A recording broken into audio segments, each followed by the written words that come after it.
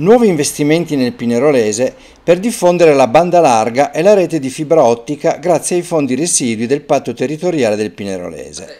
Nella sede del comune di Pinerolo è stato firmato il protocollo d'intesa tra provincia di Torino, CSI Piemonte e sindaci di Pinerolo, Luserna e Roletto, che consentirà, nell'arco di un anno, di portare in alcune zone industriali di questi comuni un efficiente collegamento in fibra ottica.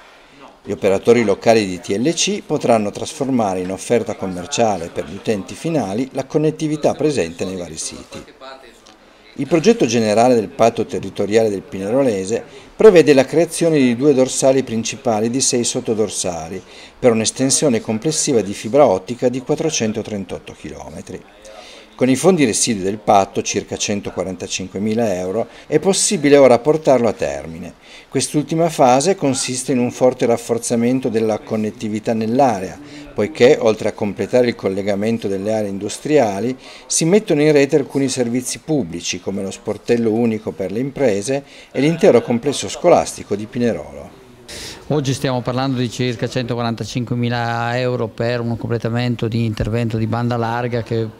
avrà un, la sua collocazione in un sito industriale del Pinerolese. Però l'orgoglio sta in questi dieci anni di patti territoriali di essere coloro che hanno garantito un'efficacia e un'efficienza di, di, di utilizzo di risorse pubbliche. Noi solo sulla banda larga, quindi l'infrastrutturazione telematica, abbiamo messo sul territorio del Canavese, del Pinerolese circa 6 milioni di euro, quindi questo è un piccolo pezzo di infrastrutturazione. Abbiamo dato circa 16 milioni di euro perché a imprese direttamente per agevolare le attività industriali a fronte di investimenti da parte delle imprese di 108 milioni. Abbiamo fatto ulteriori investimenti per 6 milioni infrastrutturali utilizzando 3 milioni, quindi è l'idea di una provincia che a, fronte di, fondi nazionali, i patti territoriali sono fondi di carattere nazionale, in questi anni non ha perso un euro per poter mettere nelle condizioni il territorio della provincia di essere competitivo. Ci auspichiamo che l'area metropolitana sappia far sì che anche queste le risorse che saranno nella prossima programmazione 2014-2020 siano a